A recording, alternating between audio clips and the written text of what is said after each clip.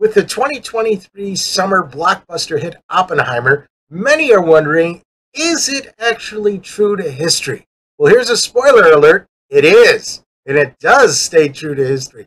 But you might wonder what does the average citizen, well, let's say the well informed layman, know at that time about atomic power and where it might be headed beyond the war effort? We'll explore this in this week's episode of the State of Greater Western New York Report, which as always is brought to you by. Each week, our community makes history. Each week, you make history. And each week, there's only one source to turn to for the first take on history. You know what that is? Subscribe to the Sentinel right now to discover the history being made in your own backyard. The Mendon Honeoye Falls Lima Sentinel. More than just your news, it's your history. Welcome, everyone, to this edition of the State of Greater Western New York Report. Join us each episode as we discuss fantastic topics ranging from history to science to the strange and the wonderful, as well as the treasured spirit with which our region has infused America.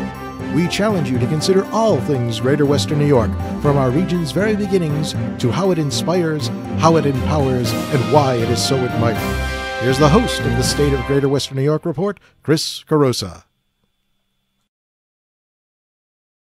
Well, hi there, and welcome everyone to this week's edition of the State of Greater Western New York Report. We're going to be talking about something that's popular right now, right today, goes beyond Western New York.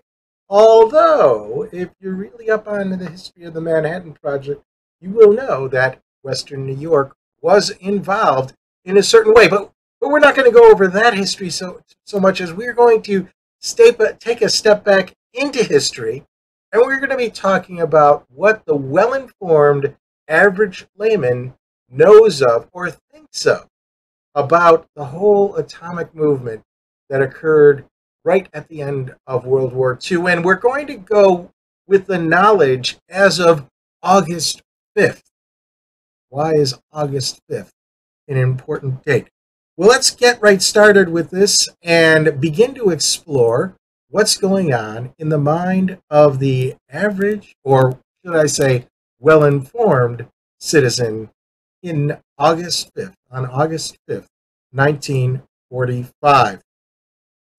Well, let's start with this idea. It's, it's September, in September of 1945, many of the participants who were involved in the Manhattan Project returned to the Trinity test site with for news crews and you know for pictures and all that. And here we have a picture of Oppenheimer, Robert Oppenheimer, and Leslie Groves, General Groves, examining the remains of one of the bases of the steel test tower. This is from the Army Corps of Engineers. So this is in September. By that time, they had learned a lot of things about atomic energy, atomic power, atomic weapons that they did not know as of August 5th. Now, this site was located about 200 miles south of Los Alamos, New Mexico.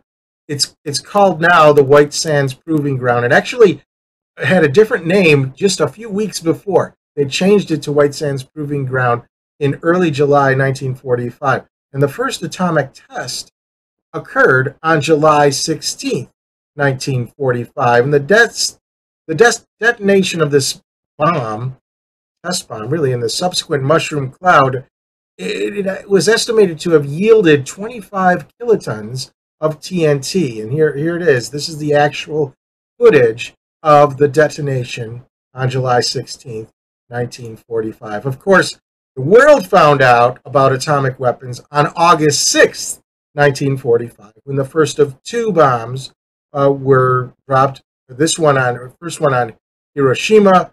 Three days later, the second one was dropped on Nagasaki, and all this led to Japan's surrender. But the purpose today is to briefly describe the social consequences of the construction of the atomic bomb that could have been foreseen by a well informed layman on August 5th, 1945.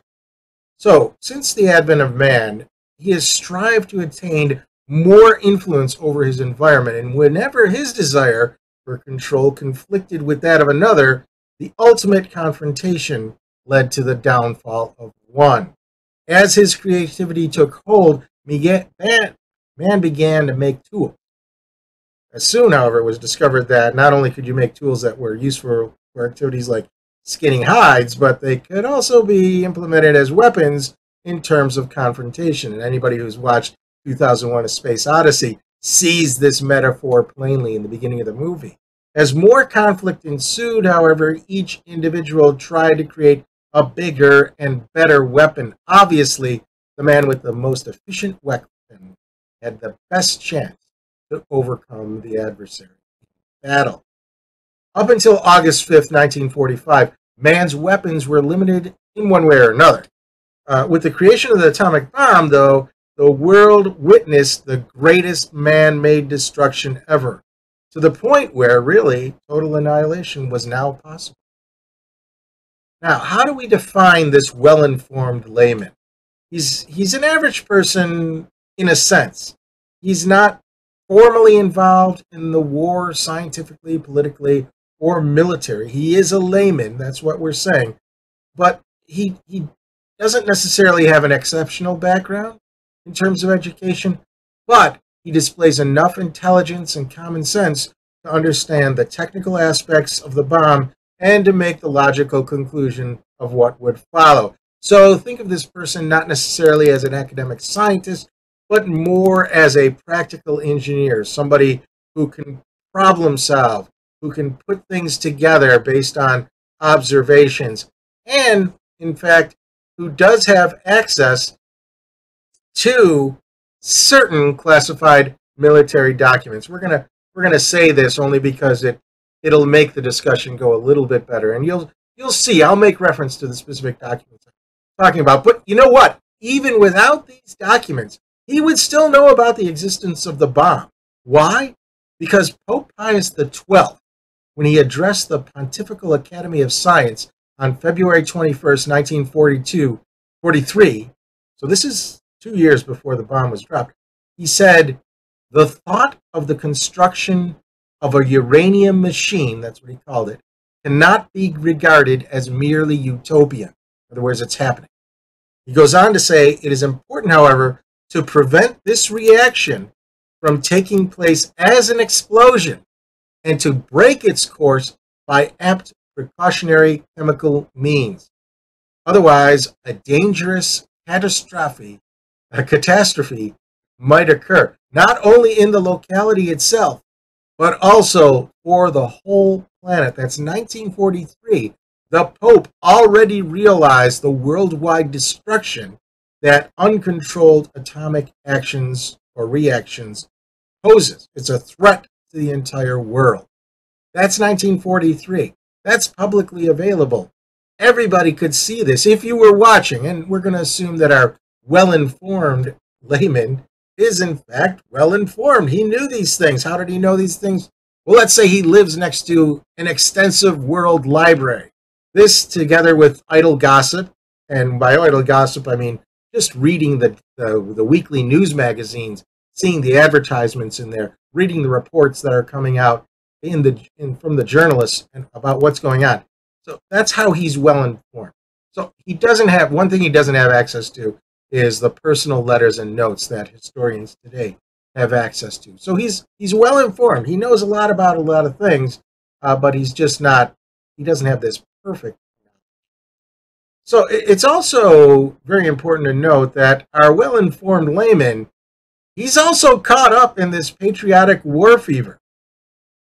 Pulitzer Prize winning journalist John Hersey, who you see here, he said that it would be unlikely that our layman would care very much, if at all, about the consequences to the Japanese prior to their surrender. I mean, this is how much really hatred there was. I mean, I can't use any other word. Remember, Japan bombed Pearl Harbor and America did not forget that. And, and while the Nazis were considered, considered the ultimate enemy, enemy, it's the Japanese really who, at least from the American standpoint, received most of the, the, the vile, you know, attitude. So this layman would, would be caught up in the same sort of attitude as the rest of America.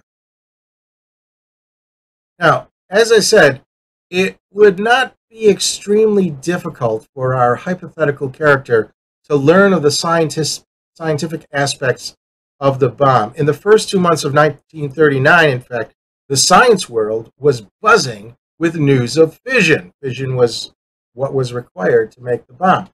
From a January meeting in Washington, D.C., to letters and articles published in such physics journals as Physical Review, Nature, and Modern Physics, the layman would be able to track science from the discovery of the neutron by James Chadwick on the left here in 1932 to the discovery of fission by Frisch in 1939.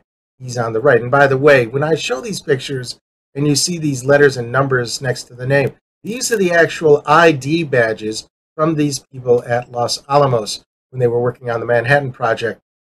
Chadwick on the left here, he doesn't have one of these IDs. It's actually might be on his lapel there, but this picture was taken at Alamo.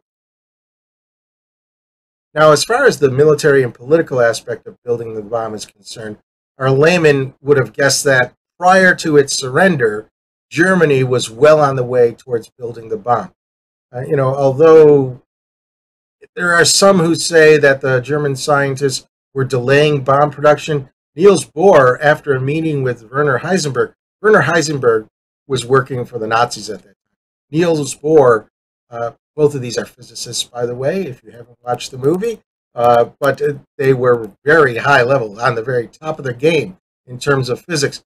But Niels Bohr was uh, captured by the Germans and held hostage in Denmark until the Allies freed him.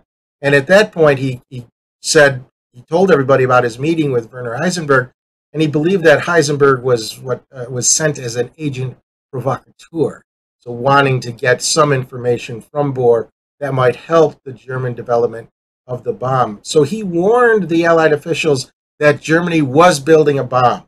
With the fall of Germany and the discovery that they were nowhere near making a bomb, our layman might have felt the bomb was no longer necessary as Japan couldn't build one. Yet, in the name of science and common sense, that is, the possibility and the promise, really, of nuclear power, our layman would have probably assented to the need to continue research. Now, this sort of conflict, I'm, I'm assuming that in this part that the layman is probably less caught up in this patriotic fever in reality, if you read the magazines and the literature from July and August, early August 1945, there is no one who's not thinking about doing everything necessary uh, to win the war against Japan. So our layman would have also understood that the building of the bomb had uh, really another objective, and that was to defeat the Japanese without the necessity of a land invasion. But our layman wouldn't necessarily have realized that the invasion may have not been necessary. Some military advisors saw victory via conventional weapons as early as September of 1945. So they thought that, that if they kept bombing Tokyo, which is what they were doing, uh, car- carpet bombing, same, fire bombing, same thing that they did in Dresden in Germany. But, you know, they bombed Dresden and they still had to go and invade Germany uh, go into Berlin. They didn't win just by the bombing. Some thought they could do that in Japan, but again, the evidence was kind of weak. The Japanese, well, we'll get into that in a moment. I'll just say that General MacArthur, who you see here in this famous picture, he actually laid out an invasion plan involving two landings. The first one was in Kyushu in November of 1945, so he was not assuming that the Japanese would surrender by September. So that was the first one, November 1945. Then he had a second one on the Tokyo plain in March of 1946.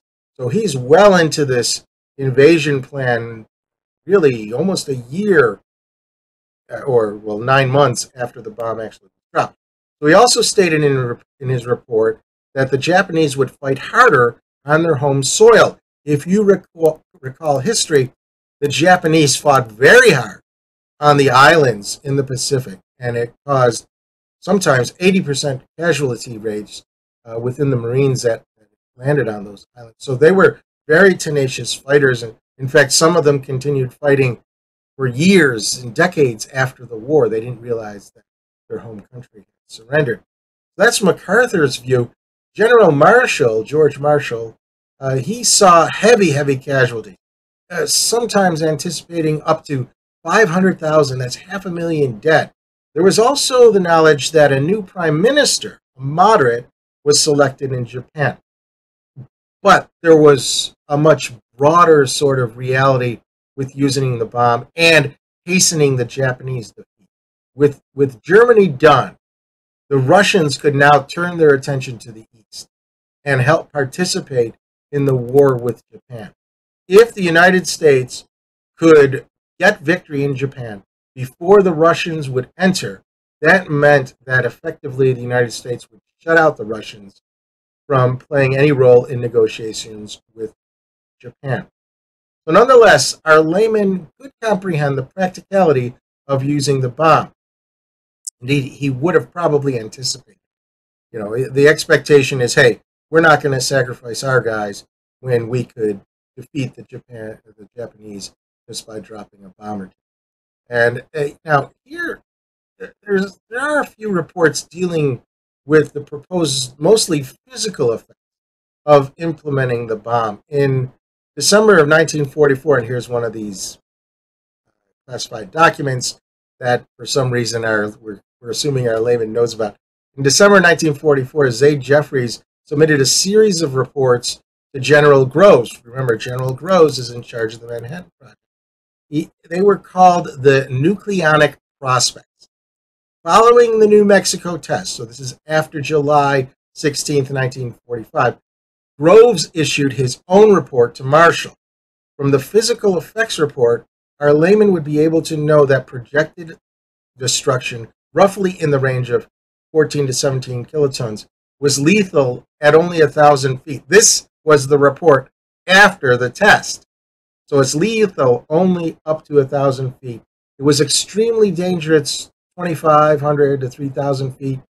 Heat and flame would be lethal from 1,500 to 2,000 feet, and buildings would be destroyed up to two miles or badly damaged six to seven miles away.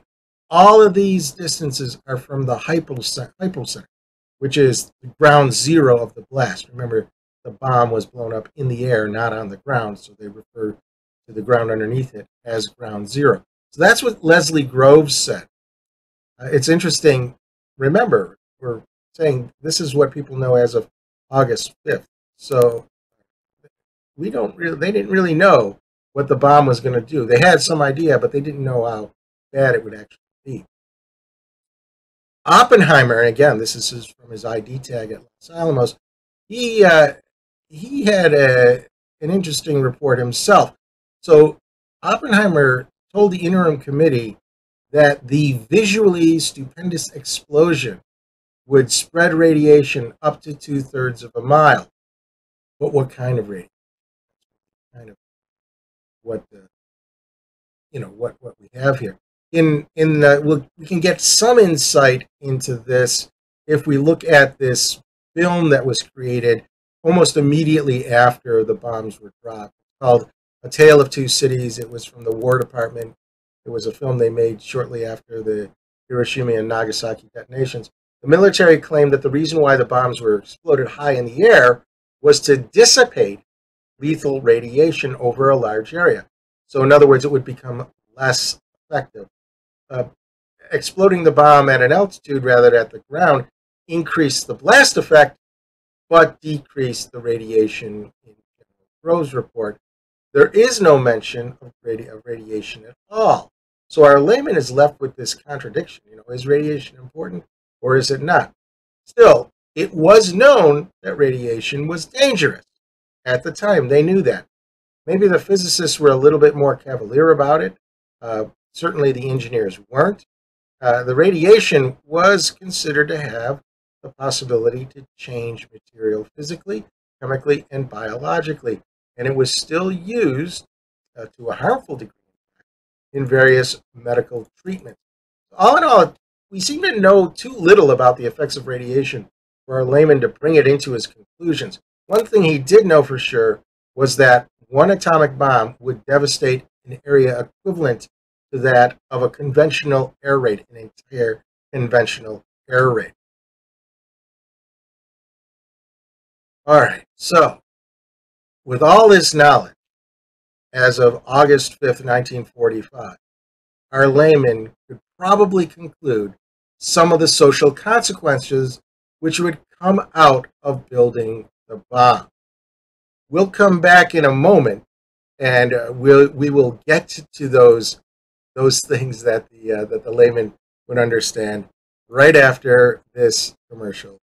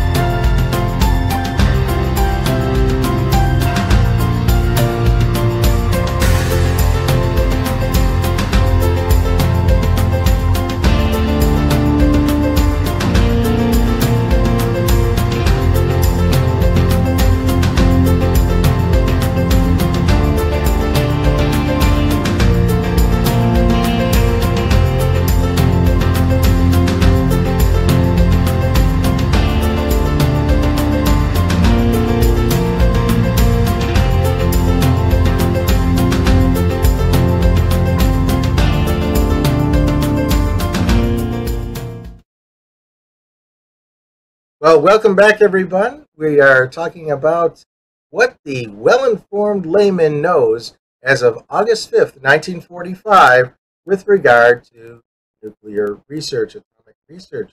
And our, our, our well informed layman really is well informed. So it's not just an average kind of level of knowledge. It's a, it's a step beyond that. And as I said, he would have had access to some reports that might be considered classified. So, what does he know and what does he think about it?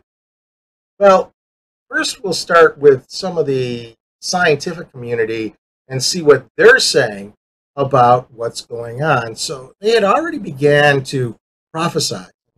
And these conversations could have been available to our very curious layman. I mean, some of these efforts were not very well hidden. In fact, they were outside the normal, say, uh, uh, classified environment. One of these was Leo Szilard. Now, Leo Szilard, who's pictured here, as early as 1935, he foresaw grave consequences with regards to atomic weapons. 1935 was before fission was actually discovered, so he really was a leading thinker there. And he believed that the governments of the world would use the power of the atom for their political purposes. That's what he was worried about. Indeed, our layman might conclude, isn't that what is happening right now? So, in other words, the government of the United States was using atomic research, atomic knowledge, for political purposes, really to help fight the war. So, five years later, in 1940, after Szilard had instigated Allied atomic research, he had approached Einstein with the idea that the United States, by furthering atomic research on its own, might be responsible for initiating an atomic armaments, race. So this is after he started the whole thing. So five years later would be right around 1945. The uh, so our our well-informed layman would know that. Now, when Szilard actually presented this idea, at the potential arms race, his Secretary of State James F. Byrnes, Byrnes laughed it off, claiming that the Russians didn't have a trace of uranium. Niels Bohr, he had similar ideas to Szilard. He foresaw nuclear proliferation as a dominant feature in the East-West relations in the immediate post war period. Bohr, who had been concerned about the ramifications of atomic power, believed it would be easier if all the powers worked together in applying atomic energy than to use the bomb in war.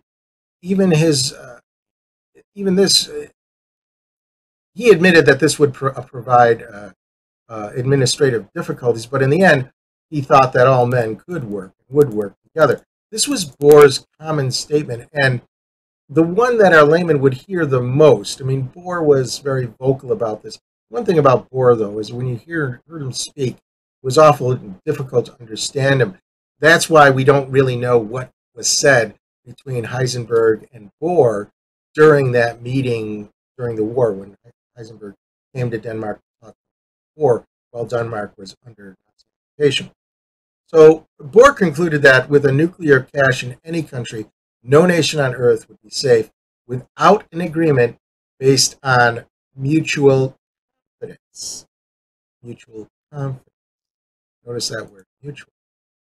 So, also foreseeable by scientists and championed by Edward Teller was the hydrogen bomb. The hydrogen bomb differed technologically from the uh, the atom bombs that were dropped on Japan. Those were fission bombs. Hydrogen bombs were fusion bombs. And as the movie cleverly explains, how do you how do you ignite a hydrogen bomb? Well, you do it with a fission bomb. So either way, they had to create a fission bomb. Here's the picture of Edward Teller from his ID tag. Alamos. On the political side, Vannevar Bush and James Conant, so they were in the cabinet at level, they, they wrote a memo to President Roosevelt, and uh, they they really uh, you know kind of echoed what was going on here, saying that we should move forward. The last thing, the last element here is the controversy of radiation. So many scientists felt that the radiation was a criminal weapon. An informed layman might foresee international troubles for the United States, specifically with the Soviet Union, should the bomb be deployed. This is what some people actually thought at that time. They didn't want to drop the bomb on Japan, they wanted to test it on a deserted island just to demonstrate. Well, in effect, history now shows that that probably wouldn't have worked. Why? Because it took two bombs for Japan surrender, not one. So, in effect, the bomb was demonstrated first on Hiroshima, no surrender. So, three days later, second bomb was dropped. Then they surrendered. Now, here's the other reason why they didn't really test the bomb. They didn't have any. They only had two. I mean, three if you count the one that they tested in uh, on White Sands. But that one was not deliverable. So they only had two bombs. They couldn't afford to test one and then have Japan do nothing. And then they dropped one. Well, obviously one didn't work when, when in reality. So in the end, it, it turned out to probably be the correct order of things. So once our layman has all this knowledge at his disposal, he could sit down in the evening, say, and just think about the ramification of this, the, the introduction of this new technology what would he? Well, first of all, using it would mean a quick Japanese surrender, which ultimately meant less loss of lives, not only for the Allies and Americans, but also for the Japanese. And certainly, all the Allies' families would be very happy all over the world. He would also kind of get the idea that people would see this as a heroic venture, the Manhattan Project as a heroic venture. And therefore, they would end up admiring and respecting those involved in the creation of the bomb, mainly the scientists. Furthermore, it's logical to perceive science helping society down the line with various atomic spin offs, not just toys, but helpful things, and especially nuclear power. That was so people's perception of science would change from that of something being simply an academic pursuit to something with a practical and resulted. And here's where the engineering aspect comes in. There were a lot of theoretical physicists involved in the Manhattan product project, but there were also a lot of engineers uh, or say lab lab scientists. think of those as engineers. So they actually had to put this theory together into the real world and make something good out of it. So our layman could foresee that. Of course, you know, the admiration of science would lead to a sort of perversion of it. And this occurs in two different ways. One is science is now beholden to those who give the grants. So we're worried if science is now going to be honest or if it's just going to be used as some sort of uh, weapon in ideological wars, not a physical weapon, more of a propaganda type weapon. And that's still a concern today, obviously. But there's this other sense of how it might be perverted, and this is what was referred to as the crash program psychology. So that's where pressure is put on science to produce and produce quickly. And many people would utterly fail to see that the building of the bomb was a managerial and technical triumph more than an achievement of science. The science was already known. There was some scientific elements that they had to pursue and finalize and get right, but it really came down to the engineering of it and putting the whole project together. A lot of these crash programs don't work. We don't yet have a answer. Some of them do work. We landed man on the moon by the end of the decade of the 1960s. So we had this sort of attitude that could could ultimately hurt science. So finally, the America itself would feel like a god among countries by dropping this bomb, and people knew that only America had it. But our, our layman would be smarter that, to assume that this would always be the case, because he would know that Russia, too, had competent scientists, and they, too, would soon build the bomb. This is without even the assumption of spies, although the spies facilitate building Russia. But once this would happen, America's greatness and prestige would be neutralized. In other words, we'd have two superpowers and then more. So this in turn would lead to a Cold War. And that's what Szilard and Bohr both feared. And if you have this Cold War, again, the American country against communist Russia, that would possibly lead to a paranoid reaction or a red scare similar to that of the 1930s. In fact, it did, and as we know, that's what really impacted Oppenheimer's career. Further down the line, if our well informed layman is really thinking, he would see some sort of mad psychology where the stability of the world is based on mutually assured destruction. There's that word mutually again.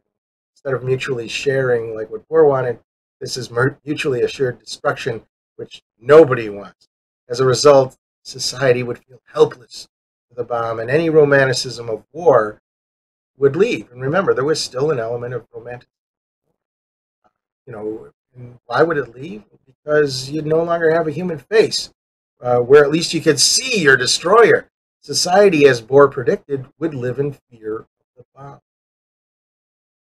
Now, everything that I just stated is what I think a very well informed layman would answer if you asked him to describe the social consequences of the construction of the bomb prior to August 5th, 1945. Obviously, a lot has changed since then, but eh, you know, you know, you can never be sure of what will happen until it actually does. That's why that date, August 6th.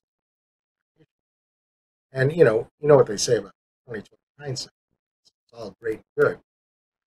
But still, as as as Paul Langevin said in the 1930s, scientific discoveries are more lasting than so there we go, a little bit of a step back in history uh, based on the popular movie Oppenheimer.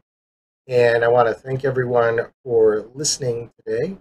And I, I did uh, anticipate a few questions. Hopefully, I, I answered them correctly. If you want to be on the show, or if you want to be part of the live audience of the show, then you can go to this site, stateof.greaterwesternnewyork.com, and you can actually sign up for free, register for free, and you will be invited every Thursday morning and see the show live when it airs at noon. Now, if you can't make it, because I know people work and they have lunch and maybe they're they can't work, they can't see it during work, you can watch it on our archive. It's archived in the afternoon. You see, go to that same site, stateofgreaterwesternnewyork.com. Watch it there, or it is rebroadcast on our YouTube channel and Facebook page. So you like the Facebook page or subscribe to the YouTube channel, and at 1.30 every Sunday when it's rebroadcast, you will be notified that the show is broadcast. So that's it for this week. I want to thank everybody for being on the show or being or watching the show, and we'll see you all next week. Bye for now.